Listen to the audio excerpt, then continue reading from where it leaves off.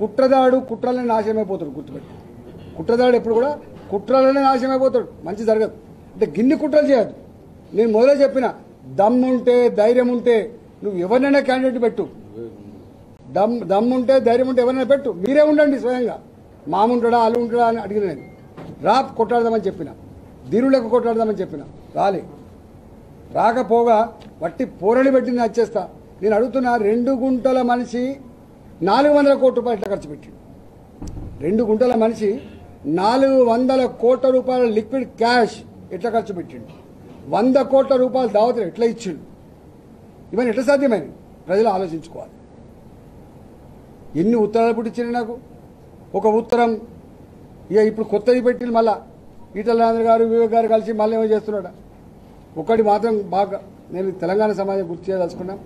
ఈటల రాజేంద్ర అంటాడు ఎప్పుడు పార్టీలు మారేటోడు కాదు. వాళ్ళు ఎల్లగొడితే నన్ను అక్కడ చేసుకున్న పార్టీ బీజేపీ పార్టీ. నేను పోలే. ఇవాళ మేము కమిట్మెంట్ కలిగిన సోల్ సోల్జర్ లాగా ఉంటోళ్ళం. సచ్చినా బతికినా ఒక ఒక పార్టీలో ఉంటే ఒక సిద్ధాంతం మీద ఉంటే అట్లా ఉండే ఉండే బాపతోళ్ళం మేము మేము గు గడియకొక గుణంతో లేకపోతే రోజుకొక ఆలోచనతో ఉండేవాళ్ళం కాదు. మేము పద్దెనిమిదిన్నర సంవత్సరాలు అక్కడ పనిచేసినాం మేము. పద్దెనిమిదిన్నర సంవత్సరాలు అనేక రకాల ఇబ్బందులు ఉన్నప్పటికీ కూడా దిగమింగుంటూ పనిచేసినాం. ఎందుకంటే పార్టీ సోల్జర్లుగా పనిచేయాలి కాబట్టి.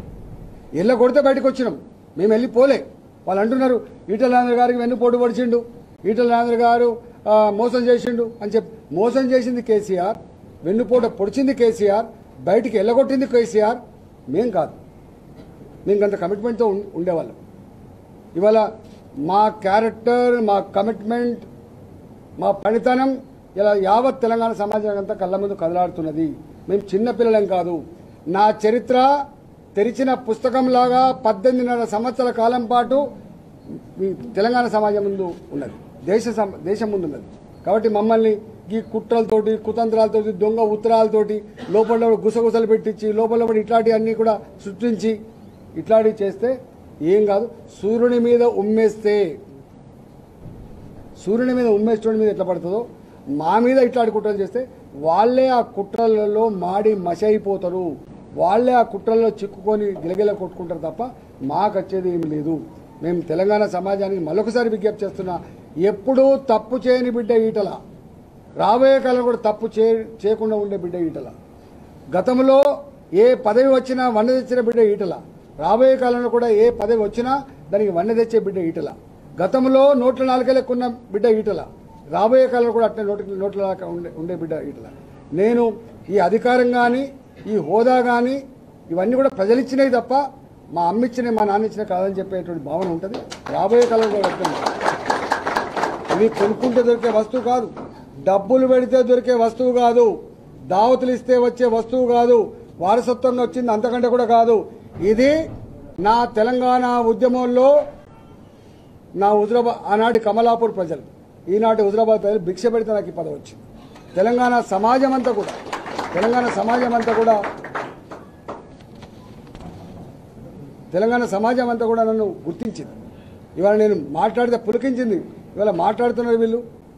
నాలాంటి వాడు అసెంబ్లీలో బిల్లు బిల్లు పాస్ అప్పుడు మాట్లాడిన మాటలకు పులకించిపోయింది తెలంగాణ సమాజం. అందుకనే నా జీవితం ధన్యమైపోయింది. ఒక ఒక ఒక ఒకసారి ధన్యమైంది. బిల్లు పాస్ అయినప్పుడు.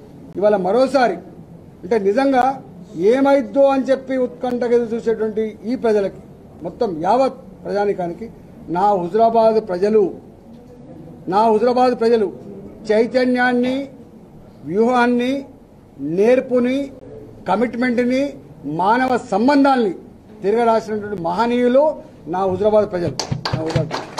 ఈ మొత్తం విజయం ఈ మొత్తం విజయాన్ని నా హుజరాబాద్ ప్రజానికానికి అంకితం చేస్తున్నా ఇవాళ వీళ్ళ రుణం ఎన్ని జన్మలెత్తినా తీర్చుకోలేంది. తప్పకుండా ఉన్నంతలో నా శక్తి మేరకి మిమ్మల్ని కంటికి రెప్పలాగా కాపాడుకునే ప్రయత్నం చేస్తా ప్రశాంతతని కాపాడుతా మానవ సంబంధాన్ని కాపాడుతా ప్రజలు ఐక్యంగా ఉండే దాంట్లో కాపాడుతా ఈ నియోజకవర్గాన్ని అభివృద్ధి తీసుకుపోయే దాంట్లో నేను ముందుంటా అని చెప్పి మీ బిడ్డగా నన్ను రెండు మనసుతో ఆశీర్వదించినందుకు మీ అందరూ కూడా మరొకసారి నమస్కరిస్తున్నాను.